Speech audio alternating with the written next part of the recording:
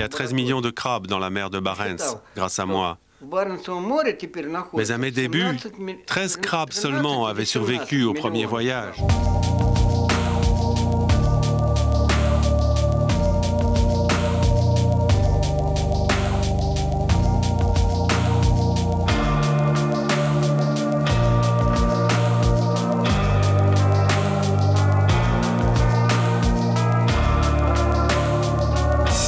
Rien, c'est tout à fait possible qu'il atteigne un jour les côtes françaises.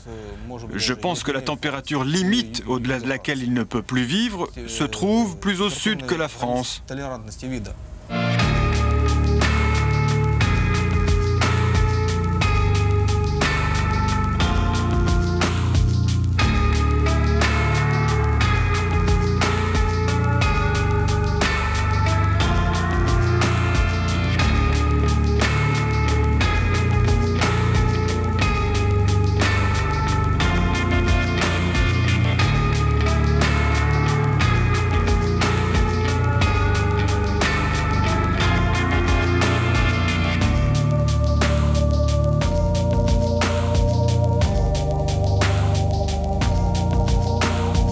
King crab est à la fois une catastrophe et une précieuse ressource naturelle.